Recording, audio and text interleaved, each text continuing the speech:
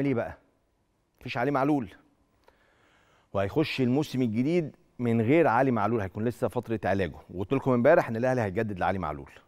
حط في بطنك بطيخة صيفي. الأهلي عاد علي معلول هينتهي الموسم ده والأهلي هيجدد له. طيب الأهلي بيفكر في إيه؟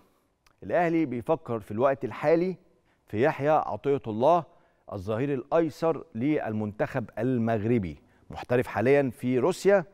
وغالبا النادي الأهلي هيدخل في مفاوضات لضم اللاعب لتعويض علي معلول.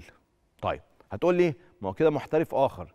غالبا علي معلول هيرفع من قائمة الموسم ال- القادم لحين الاطمئنان عليه وشفائه وجاهزيته للعب المباريات. فمبدئيا كده هيخش يحيى عطية الله. ده لو الأهلي أتم التعاقد معاه.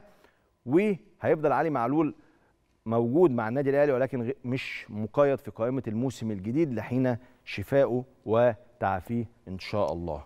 بس لو الأهلي قدر يحسم صفقة يحيى عطية الله فهتبقى أيضا صفقة مهمة جدا واحد من أفضل زهراء الجنب في القارة الأفريقية.